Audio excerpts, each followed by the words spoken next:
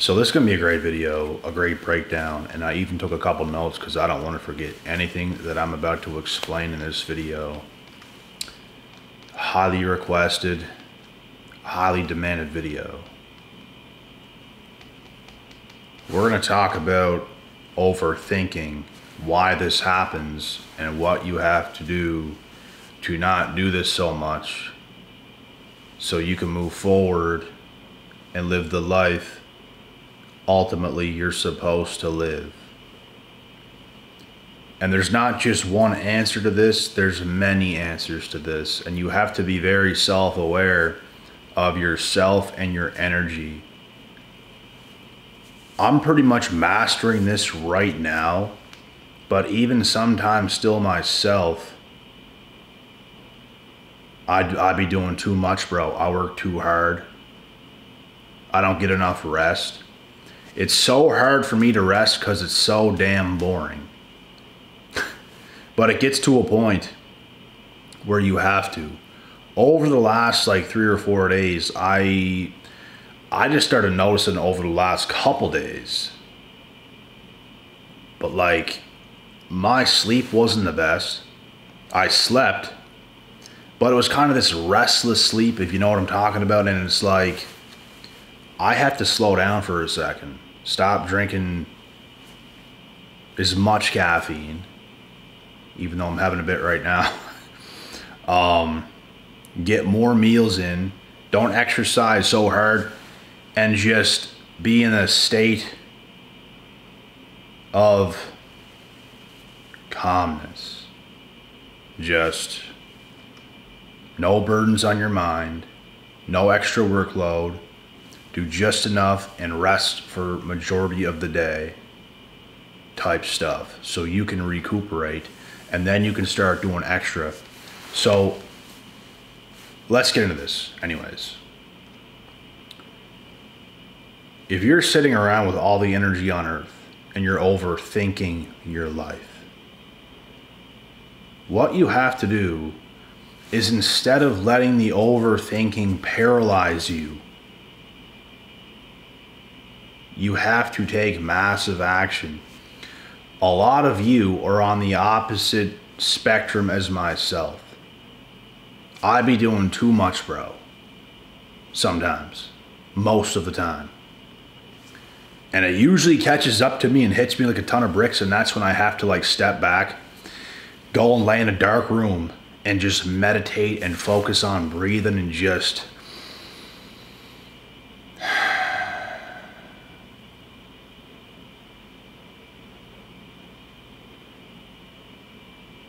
calm your mind, let the world slow down, and allow yourself to get revved up slowly again so your engine can start running the way you want it to run. This is what I have to do probably every couple months to up to a half a year. It will hit me because I just be doing too much sometimes, bruh. I'm slowly starting to feel better right now, back in better energy, back in better spirit because I can hit a burnout myself. And it's not even that I was doing too much extra on any given day. It's just like over time, it just catches up to you. And it's like there, there comes a point where you need to slow down. There comes a point where every professional athlete has to take a step back and let the body rest so he or she can keep on going forward. That's my kind of, I wouldn't even consider this overthinking. It's just more so it's like the opposite because overthinking stems from like not taking enough action, which a lot of you are in that position. And it's not the end of the world. I'm just trying to give you guys answers to fix this. I never struggled with overthinking. And of course, you think about things, but it's like overthinking not really, because I always, I, I have always taken action when I didn't feel right about something. And of course, you can overthink to a degree about certain things, but it's like, I don't paralyze myself in that state. I'm always going to press forward and take action even when I don't know what I'm doing. Which is what a lot of you guys have to do in the positions you're in in life. You don't necessarily know what direction you're going in. And you kind of overthink it. It's like, I don't know what to do. I just feel lost. I feel stuck. I feel this. I feel that. I just don't know what to do. I just don't know where to turn. Instead of being paralyzed in that, instead of sitting around thinking about it overly too much, take action towards something and you will feel better. And if you don't have energy to do it, which is the excuses some of you have, I don't have the energy or, or something like this, then you have to do what I do. Because sometimes I'll work so hard, I lose energy to the point where my jaw literally starts to hurt. I can barely talk. I can barely formulate a sentence. I can barely even go in public and just connect with anyone. I'm just like, like that. That's how much I run myself down sometimes, bro. I'm not even joking, and it doesn't happen often, not not to that degree, but sometimes it does. Like I said, every couple months to about a half a year. Out of nowhere, I get a little bit out of alignment, and I speak about alignment a lot on this channel and being in alignment, which I do a good job of for the most part, but just sometimes it happens. So if your excuse is you don't have energy, I'm going to tell you what you have to do. You have to allow yourself to not only rest, but meditate, eat good, clean foods, drink lots of liquids, go to a dark room, don't have a whole bunch of light on around you and stereos blaring and everything else. Quiet everything down and just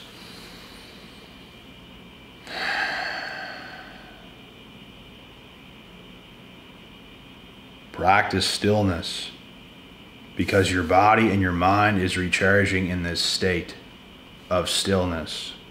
I've been doing it over the last couple days while trying to maintain some work.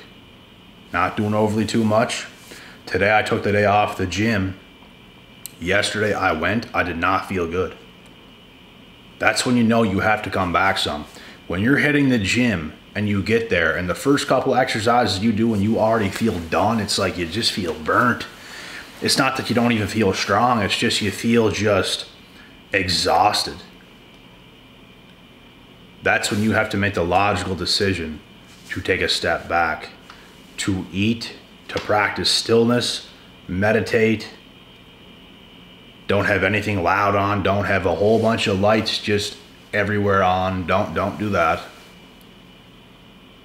just be still. I did like a couple things today, tops. Today is my stillness type of day. And I'm doing something right now, to be honest. And I have like one more thing after this, and it'll be a quiet night on this Friday evening. And tomorrow, I'm going to take the day off the gym. Sunday, I'm going to take the day off the gym. Three days in a row and then Monday I'm gonna hit it back hard because that's where my body's at right now. Some people take a week, two weeks off the gym to fully recover.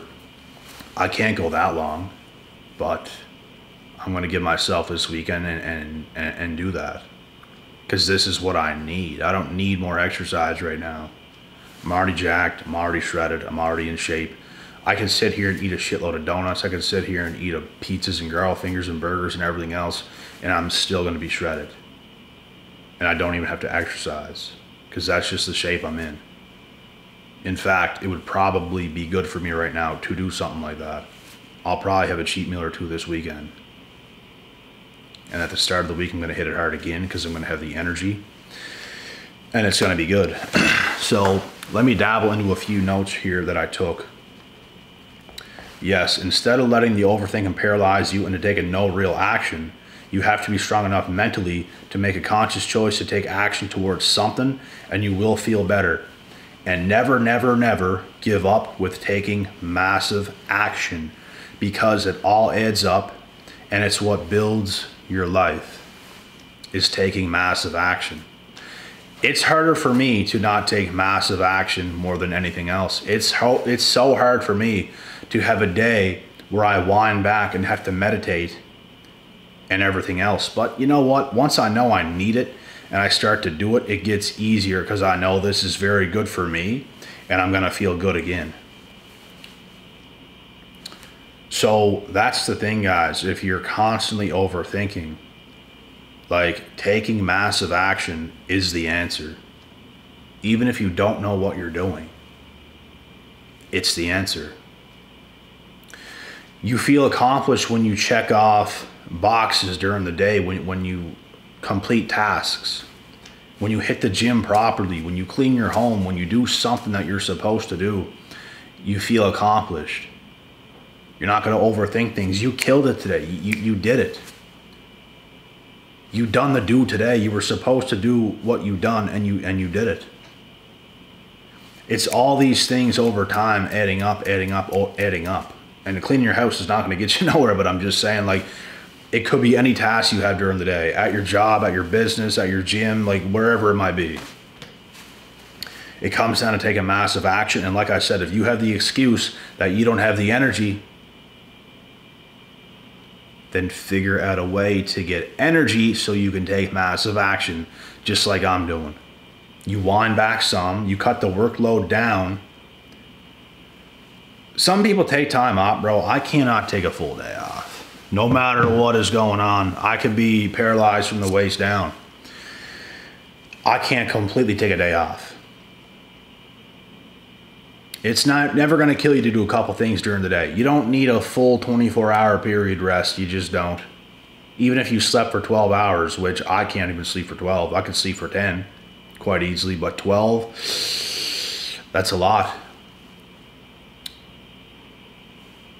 You're going to have quite a bit of energy when you get up. The thing is, you might not have that amount sustained for that long, but you're going to feel like you have energy and when you get up and you start doing things, your energy bar might come back down fairly quick because it's not rebuilt to the top. My energy bar, bro, is rarely ever 100%. Most of the time it's fluctuating like near the middle to high range and it comes down low and I have to spark it back up and it's always just like, it's never way up here. It's just never way up here because I spend too much of it. And I'm pretty damn good at maintaining energy and knowing where it has to be most of the time so I can function. A lot of people, bro, who don't take massive action, their energy bar is like at 100 most of the time. It might come down a little bit to about halfway down, but they boost it right back up and they have all the rest on earth and everything else. They take time off, they take days off, they take weeks off, and that's just not what I do because there's too much to do.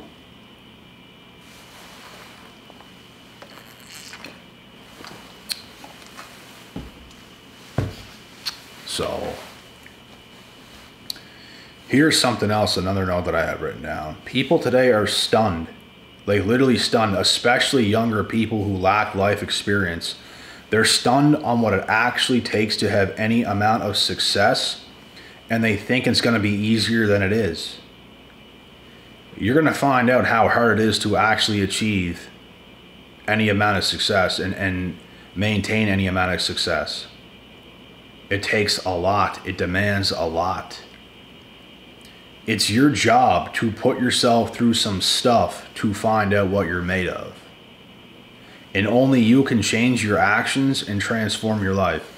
That is it.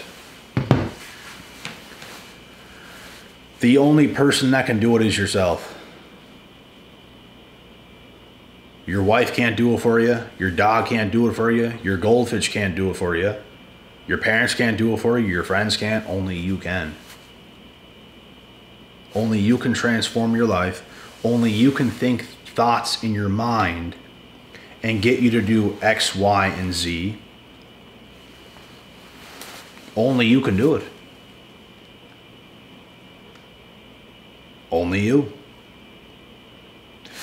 overthinking not only kills your personal life and your goals, your career path, quite possibly, or your business or something else, it can also kill friendships, relationships, especially. How many women today, bro, overthink certain things with guys? play a, a ridiculous amount of games because their emotions tell them to do so, and then they ruin something with a guy they could only dream of. Overthinking kills you, kills your progress. It kills your personal life. It kills your life with people. It kills so many things. And so many people today, bro, are in a state of just craziness. With the likes of Snapchat, with the likes of all these apps, all these mind games. People's more insecure than ever. All these women are playing more games than ever. Like it, bro. It really be the females, bro. Guys don't want to sit around and play all these games. Like guys don't want to do that.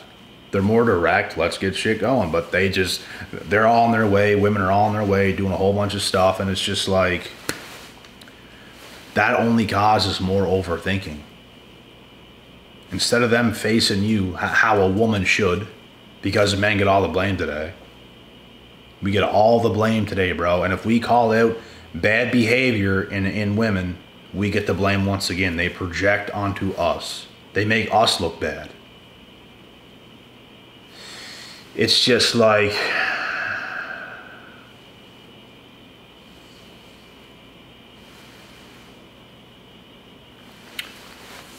You just can't win. So win without them. Oh my God, we're such bad people. Oh, oh, oh, oh, oh, oh, oh, oh, oh, oh. oh. Look how out of control we are. Uh, uh, uh, uh, uh. Uh, uh, uh, uh, uh. I would argue we are very in control, very logical. We know what we're doing. We know what we want. We know what we're going after. And I would argue most of women do not. But oh my God, such a bad person. Look at me. Oh, such a bad person. For telling the truth, you prick.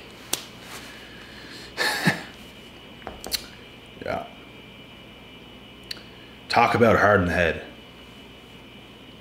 That's something else. You deal with females, bro, they will put you in a state of overthinking naturally. With all the games, they, they want you overthinking because they're overthinking. You're so logical you're so upfront, so direct. It's like we could just meet up now. You can come over to my place now. I can meet you somewhere now. And it's just all this nonsense of what they have to say and they flake on the date and it's just like, oh my goodness. You don't know what to do and if you don't double text her, oh my god, he must not care about me because he's not double texting me. Oh my god. Just, just, just, just, just, just, just, just stop it. That's what I'm saying. Women's another thing, bro, that just causes overthinking and stress. They they really do, bro. I, I women are supposed to be lovely creatures, but they're just more insecure today now than ever, more crazier today now than ever, more games today now than ever. They're supposed to just come in our presence, be sweet, kind, bubbly, loving, caring, nurturing. We're supposed to just be able to cuddle up with them and just we'd love nothing more than that, but it's just not how shit's going today. it's just not how it's going today. Because they be overthinking like motherfuckers, bruh. Women are the worst overthinkers of all time. I've actually personally heard them say this, many of them themselves. I'm just a worrier. I'm just an overthinker. Yeah, you are. You're damn right you are. So don't project it onto me. Don't try to put me in that state. Life is so peaceful, bro, when you deal with none of those types of females. And it's almost like if you deal with a female today, that is what you're dealing with. And it's. If you're a man trying to build your life, you don't need that in your life. Especially if you're not very far along in your life. You definitely don't need that in your life. Men should take breaks from women. Completely. That's another piece of advice I will give you, and I don't think it's anything magical. I think a lot of y'all know that yourselves. Like, bro, we deserve feminine, submissive, sweet, kind, caring women who are supportive. We do the heavy lifting, we do the harder work. Y'all can't even do that today. So why do we want y'all again? This is the mess that is that is here today, and we get to blame somehow. We somehow, by some divine fairy tale miracle, get blamed for this.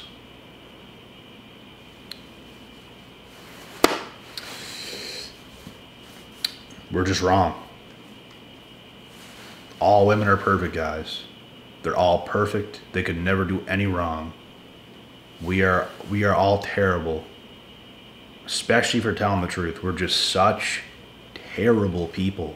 So completely out of control and chaotic. We're just the biggest idiots of all time. Every one of us guys.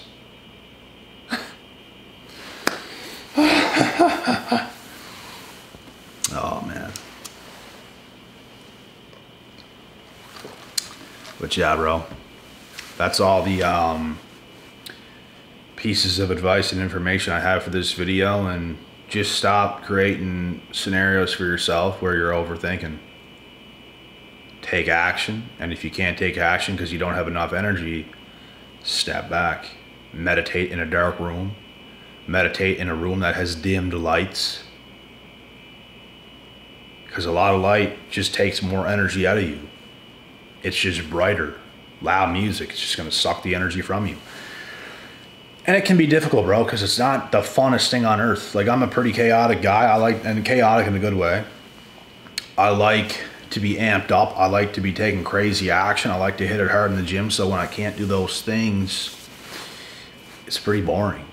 But there's something fun about once you get into the hang in the groove of meditating you start to accept it and you start to accept this is what I'm going to do for the next day or two. And I'm going to come back and I'm going to be a lot stronger and I'm going to have energy for a long time. I'm not going to burn myself out like this again. It's all about learning, bro. It's all about self awareness. It's all about learning and growing. And don't let any of these maniacs out there steer you the wrong way. Don't let nobody do that shit. Everybody has their own life. Everyone's working on their own schedule. You have to know what's best for you every step of the way. You have to do what's right for your own self. Which means you have to be ultimately self aware. If you look at life like a video game, you have to be good at the video game. I could be sitting here telling, telling you how to click every button to, to be better. This is how you win. This is how you head kick someone on UFC 5. You still have to do it. I can only tell you so many buttons to click. You're going to have to figure things out on your own. That's what you're going to have to do. So I hope this video could help. Instead of overthinking so much, start taking some action. Like it'll make you feel better. You feel more accomplished. You feel like you've done something. And it's going to help you grow. That's it.